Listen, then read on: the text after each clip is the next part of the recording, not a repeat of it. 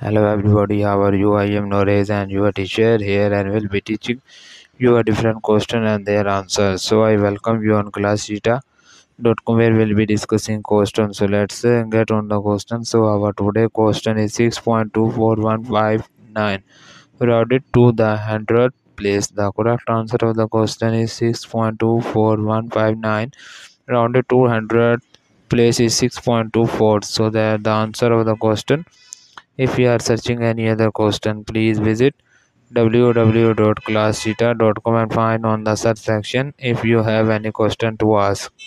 There are sessions on the right side of the website. Fill the form and we'll be answering you as soon as I can. Thank you for watching this video. Please do not forget to like, share, subscribe our channel until next question. Bye bye.